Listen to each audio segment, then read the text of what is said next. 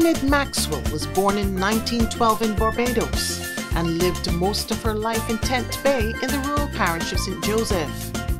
She grew up in an era where widespread poverty meant that many citizens did not have disposable income to purchase their food and instead produced much of their own food out of dire necessity. People reared animals for the dinner table.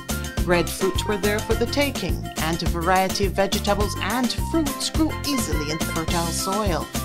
Additionally, Tent Bay, a well known fishing community, also provided a plentiful bounty from the sea. Accustomed to fresh, healthy, and nutritious food, Enid Maxwell devoted her life to promoting that Barbadians should eat more of what they grow and produce more of what they eat. She led by example through the creation of foods that embodied the distinctive Bajan flavors that she thought were not truly appreciated, and by teaching others to do the same. For this, she's credited with playing a significant role in the evolution of Barbados's culinary culture. A home economics management teacher by profession, Ms. Maxwell went on to become an inspector of nutrition with the Ministry of Education and assisted with the establishment of the Housecraft Center before becoming its principal.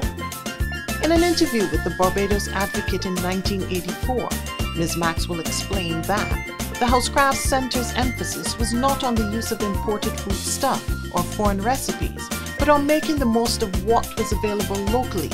The students were encouraged to bring to the classes what food stuff they had at home, in their backyards, or what was caught in the sea.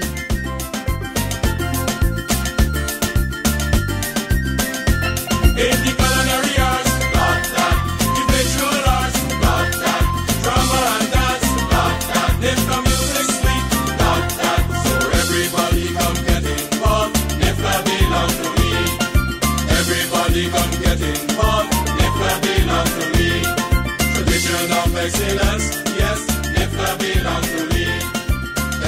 Winning come the get Enid Maxwell Award Culinary Arts is peak success for all of the hard work that you put into, into winning that award.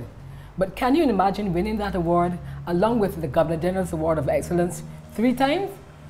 Being an award winner myself, I'm excited to be standing next to someone who did that. He is Ezra Beckles, a chef since 1979, and he has been whipping the sweets. And today we're going to focus on the sweet that he's going to create. Ezra, welcome. Thank and you. congratulations on your In- Enid Maxwell Award and the Governor General's Award. That's sweet. Thank All you. right. So today, I understand you're going to be doing a pumpkin cake with fresh gooseberry uh, compote. Is that right? Yes, So can we jump right into this and tell us what's what's going on with the, going into this um, making this cake? So the pumpkin, I do not, what I do is scrub the pumpkin, make sure the pumpkin is scrubbed first, and I do not take the skin off. So what I do, I just take the pumpkin,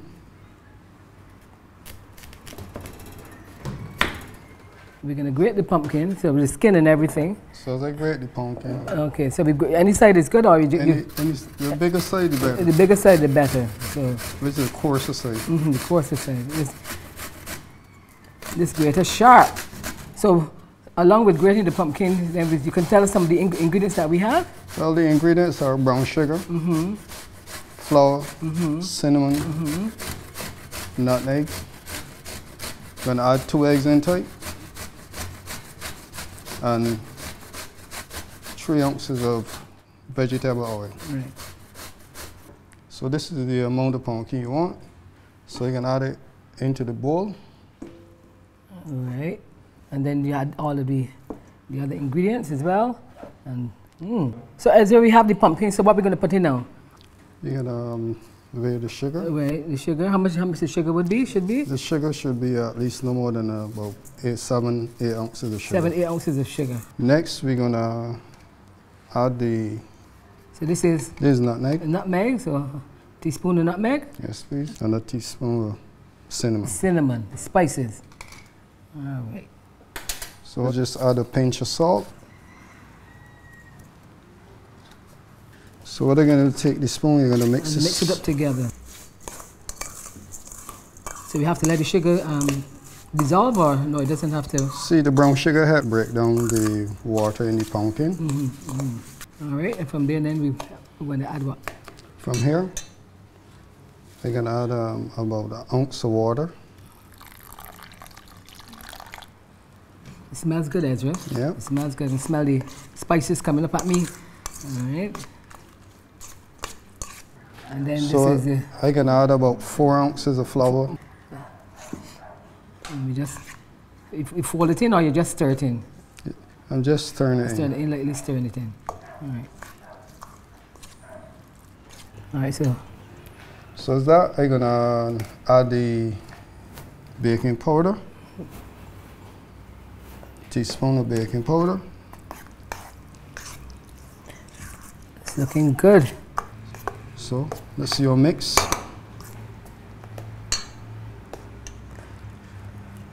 So the last thing I'm gonna add in is the two eggs. Two eggs, only two eggs. All right.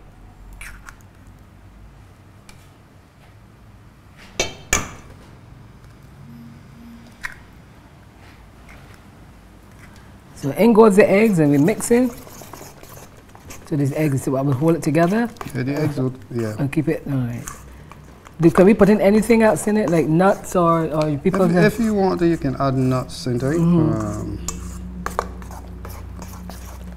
um, sometimes, if you want to, you can use uh, less sugar. You want a, a, a different sweetener, you can you can add banana to the pumpkin. Okay, nice. So this is your mixture finished. All right.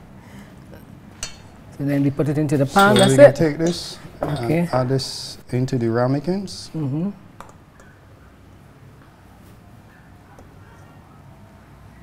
Nice. So this is a this is a very small cake here that we're getting in this one here, uh, as opposed to can you put it into a big a You big can, baking you can pan? put it into a big loafing pan. Okay, all right. So people who want to eat small portions, this would be good for them then. It's supposed to eating off the whole bread. Yes, please. Yes. All right. So we're finished. Mm-hmm.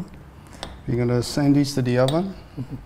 When we, when they finish bake, then we're gonna set up the finished product. So Ezra, we've have, we have the pumpkin cake in the oven, so let's now start with the fresh gooseberry compote. So let's see how we go from here. So what what I'm gonna do is to just add the fresh gooseberries into the sauce. And some of them, And one of the things that Enid, Enid Maxwell always um, advocate for is using um, local fresh fruit in, in our foods and so on. And so we encourage people to use the fresh fruit. um, the fresh fruits is good once you can get the fresh fruits. And right now there's a lot of fresh fruits you can get around here in the island. So I'm gonna add just a little bit Uh, water. All right, so that, that steam up. All right. So they're gonna add some wine. So some lovely wine. Mm-hmm. The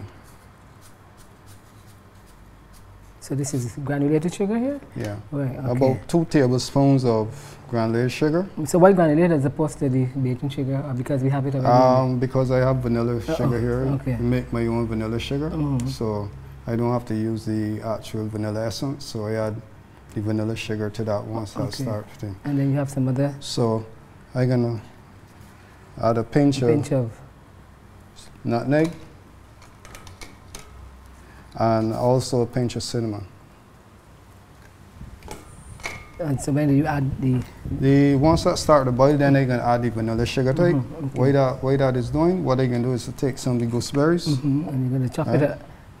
I can just take them off the seed. And When we were small, I used to love gooseberries. Huh? All right. So Well, we you can, for using local you can you can you can make you can make um, gooseberry pulp the same way that you take the um, actual soursop and make the pulp with it. You can do the same thing with the gooseberries once you have um, gooseberries. For me, a year all around I get gooseberries, so I try to use up the gooseberries as much as possible. So once mango is plentiful and um, gooseberries is plentiful, soursop is plentiful, what I do is just take them and I just take, skin them and put them in the freezer till they're ready to use them. All right. So so we're gonna add this now to so the pot. I'm gonna add this to the pot. Okay. Once that is reduced, that that's your gooseberry. So we have to let that cool, and then. Yeah. All Once right. that cool, we're gonna come back and we're gonna set the dish up. So Ezra, this is the finished product. Your pumpkin cake with fresh gooseberry compote. I'm ready to dig in. So what I can do is to add some the, I'm gonna add the gooseberries Mm-hmm. on top. Oh, wow. Then again,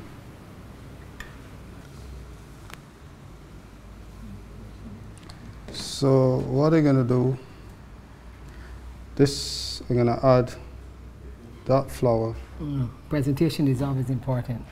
You digging in with me? Yeah, All sure. right. Mm. This should be nice. Mm. This is awesome, Ezra. Mm. So if you want a Bajan sweet fried Ezra pumpkin cake with fresh gooseberry compote. Cheers. Mm.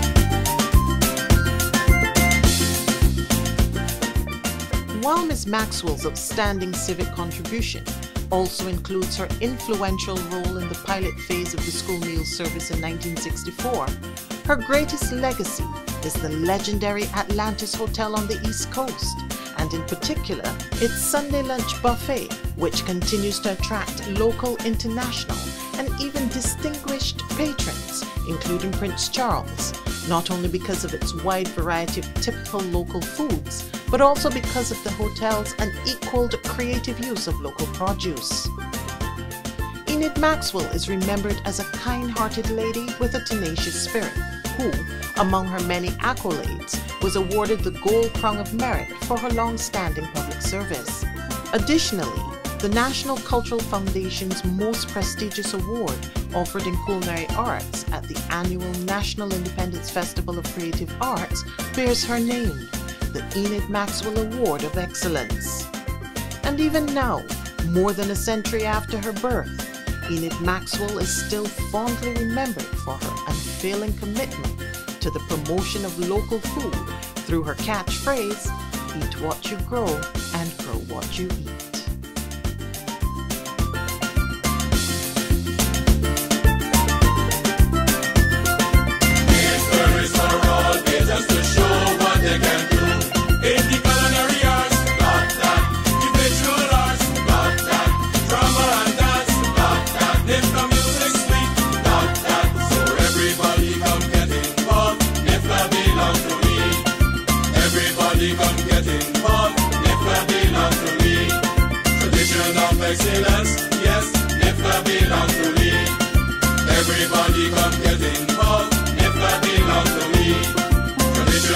Tradition